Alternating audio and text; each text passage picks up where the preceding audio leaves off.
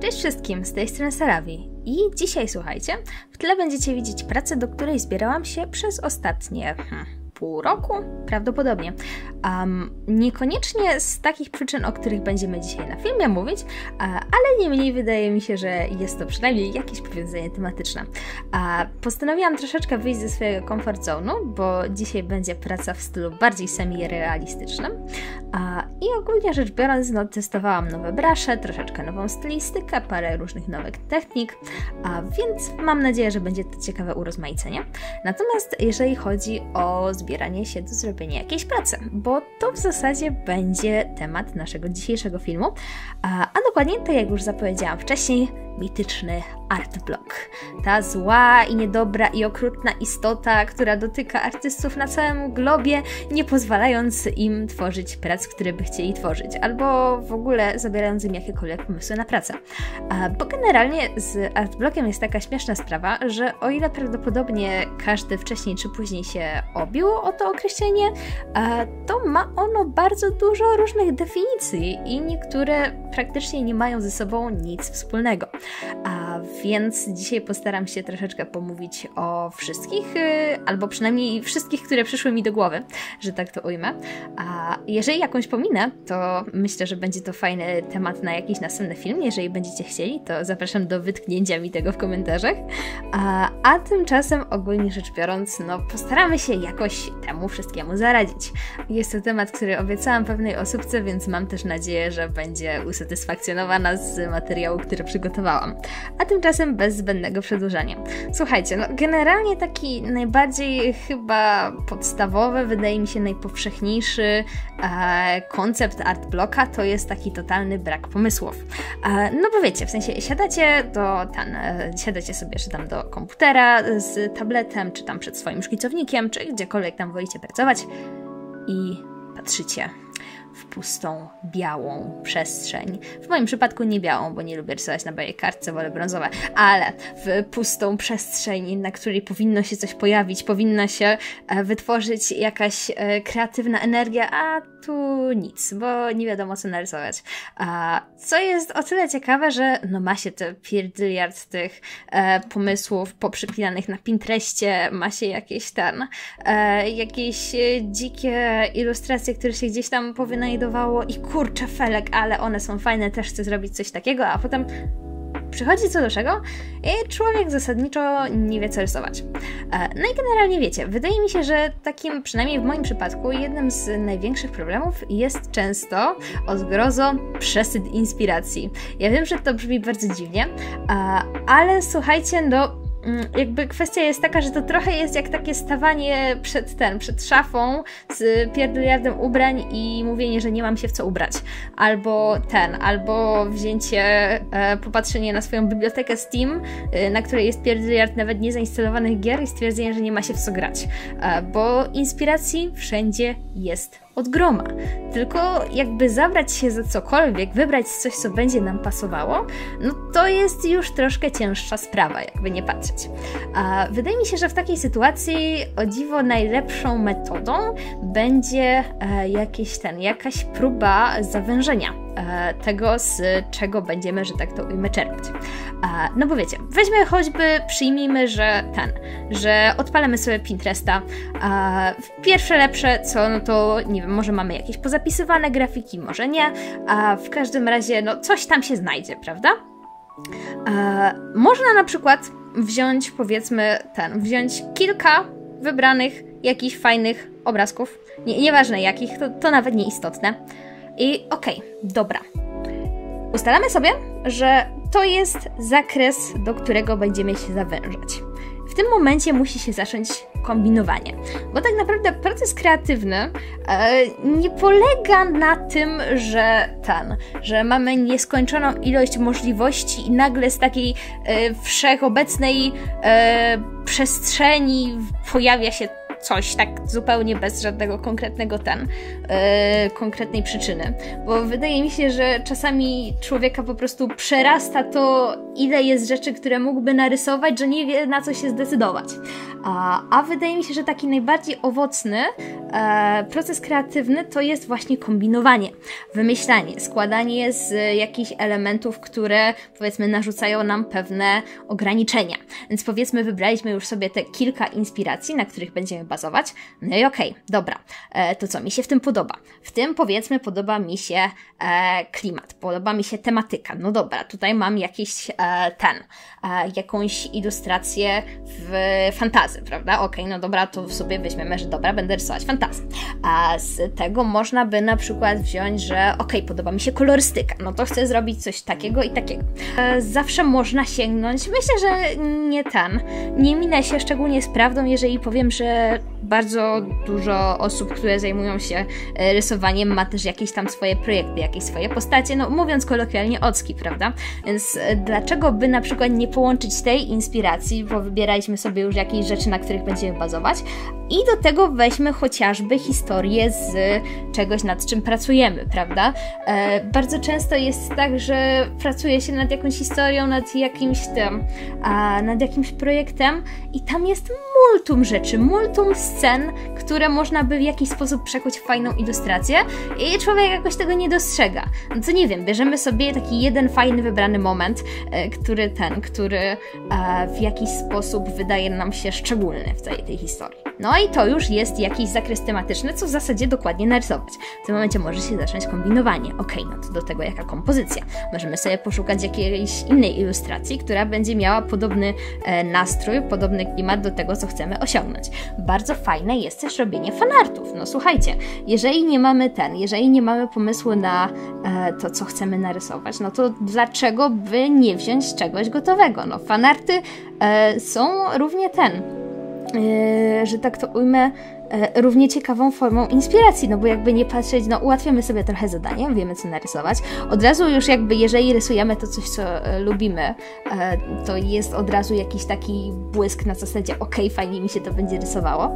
A, a z drugiej strony, no jakby, że tak to ujmę, ułatwiamy sobie trochę zadanie, bo cały ten materiał źródłowy też idzie z jakimś tam, z jakimś kontekstem. Zawsze można narysować e, jakąś postać, której będziemy robić fanart w scenie, która nam się podobała, e, czy cokolwiek. No i jest to jakiś sposób, powiedzmy, na po raz kolejny napędzenie e, jakby tego poszukiwania pomysłów, prawda? A inny ten, zupełnie inna strategia, to jest wzięcie się za, mm, tak użyję tego słowa, podstawy. E, a co, o co mniej więcej chodzi? Słuchajcie, e, generalnie jeżeli chodzi o korzystanie z refek i zdjęć referencyjnych, e, to jest temat na film, który chciałabym poruszyć kiedy indziej, ale w skrócie, mm, jeżeli nie wiemy co narysować, to dlaczego jeżeli wiemy, co narysować i e, jakby mamy chęć coś narysować, tak? E, to dlaczego by nie wykorzystać tego czasu, żeby e, wziąć się za jakieś ćwiczenia na poprawienie e, jakby swoich umiejętności technicznych, co nie? Nie wiem, pierwsza rzecz, która leży na biurku. Ja w tym momencie mam na przykład, o, kubek po kawie. E, dlaczego by nie? W sensie, jeżeli już tak kompletnie, totalnie nie wiem, co narysować i za co się zabrać, e, to przynajmniej nie będę marnować tego czasu i wezmę się za jakby coś, co w pewien sposób e, pomoże mi od strony technicznej, tak? Podlewelować trochę te moje e, rysunkowe skille. I jeżeli na przykład powiedzmy przeglądamy Pinteresta, w, czy tam grafikę Google, zresztą nieważne, w poszukiwaniu ten, grafik referencyjnych, po których można by zrobić jakieś ćwiczenia, to już na takich powiedzmy trochę wyższych poziomach w stylu sylwetka ludzka albo krajobraz, to też może być fajna forma inspiracji. No bo słuchajcie, nie wiem, zacznijmy od tego, że e, robimy sobie ćwiczenie z rysowania e, sylwetki ludzkiej e, i na przykład wybieramy sobie jakąś fajną pozę. No spoko, super, no to to zrobimy. A potem takie, kurczę Felek, a jakby tak narysować postać w jakiejś scenie z taką pozą? W tym momencie z jednej strony ćwiczymy swoje umiejętności, ale z drugiej strony potem można to przekuć w jakąś fajną ilustrację. Jasne, pozę można jeszcze jakoś zmodyfikować, żeby to nie było dokładnie przerysowane, ale to już jakby inna kwestia. Krajobraz, martwa natura. Słuchajcie, no można zrobić krajobraz, można potem pomyśleć, ok, chcę zrobić coś w tym stylu, ale jeszcze bardziej epickiego, więc trochę poz pozmieniamy sobie te kształty, pozmieniamy sobie kompozycję, albo na przykład weźmiemy z y, czegoś takiego kolorystykę, prawda? Bo e, w sumie zdjęcia, takie fajne ten... E, barwne zdjęcia wydają mi się jednym z najlepszych sposobów na zainspirowanie się do zrobienia nawet czegoś w zupełnie innej tematyce, e, ale właśnie o podobnej kolorystyce. To jest jeden z moich ulubionych sposobów inspirowania się. E, no dobra, ale my tutaj mówimy o braku pomysłów, a czasami jest tak, że człowiek po prostu nie ma chęci do rysowania. No i jakoś tak siedzi i się nie może do tego zmusić. No, najprostsza i taka najbardziej basicowa rada, jaką można tutaj dać, to zrobić sobie po prostu przerwę.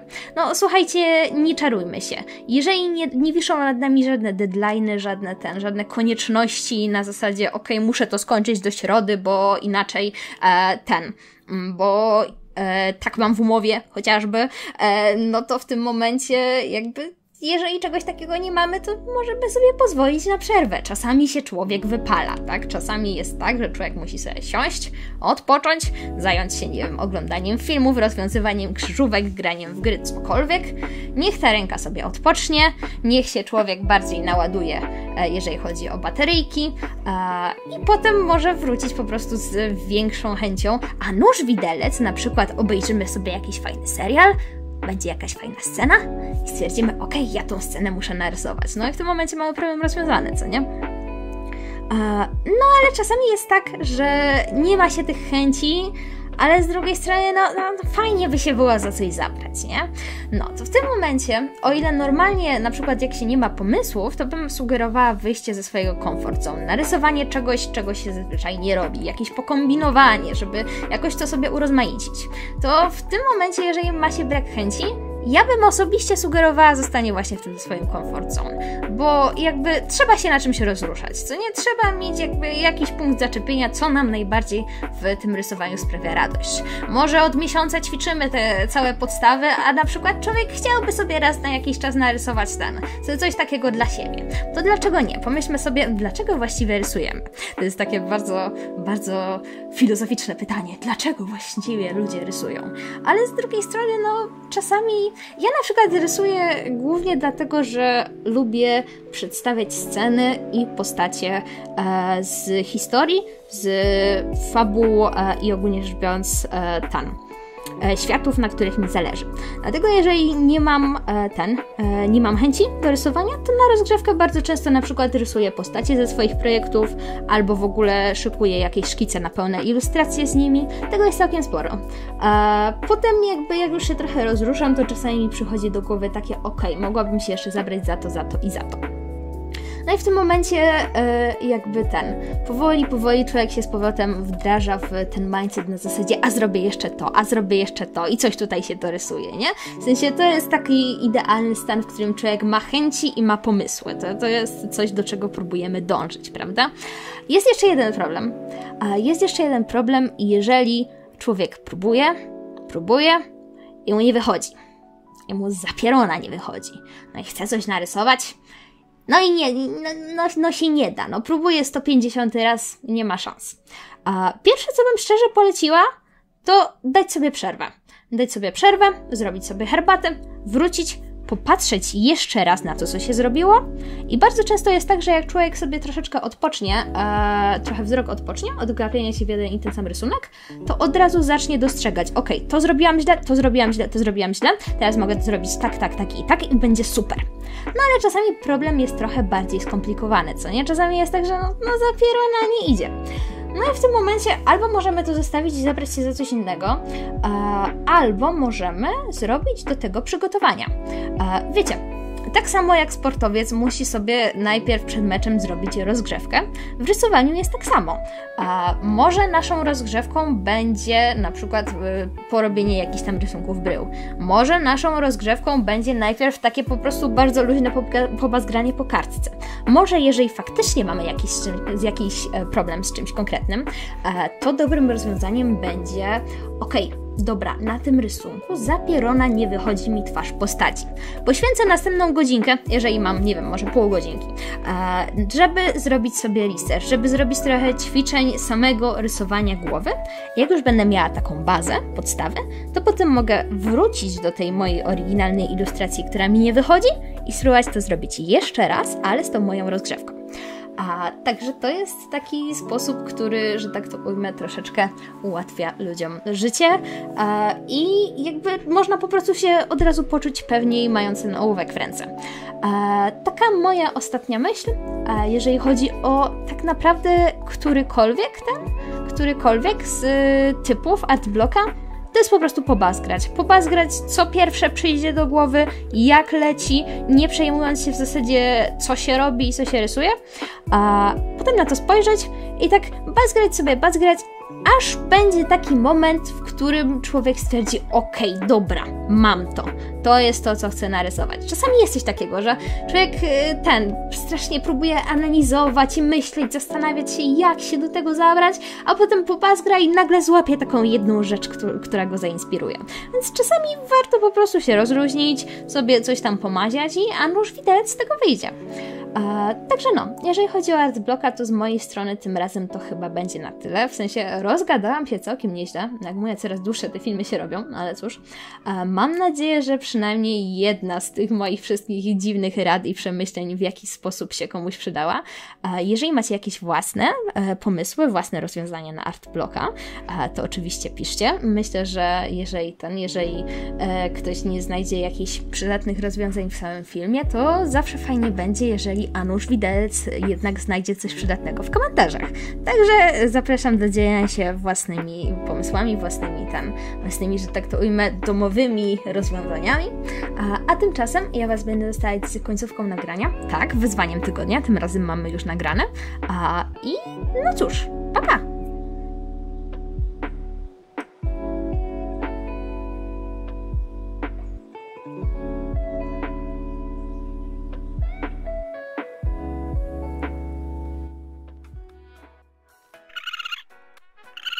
Sobie fochy stroję, tu jest poczta do odebrania. Dobra, zobaczymy. Dzisiejsze wyzwanie tygodnia brzmi Borsuk w kowbojskim kapeluszu jadący na monocyklu. Yy, także ten, jeżeli będziecie chcieli wziąć udział w wyzwaniu, prześlijcie swoją pracę na sarawistudio.wyzwanie.com albo na nasz serwer Discord, do którego link macie tam w opisie. No i zadowolony z siebie jesteś? Odwaliłem do ciebie całą robotę. Ja stąd spadam.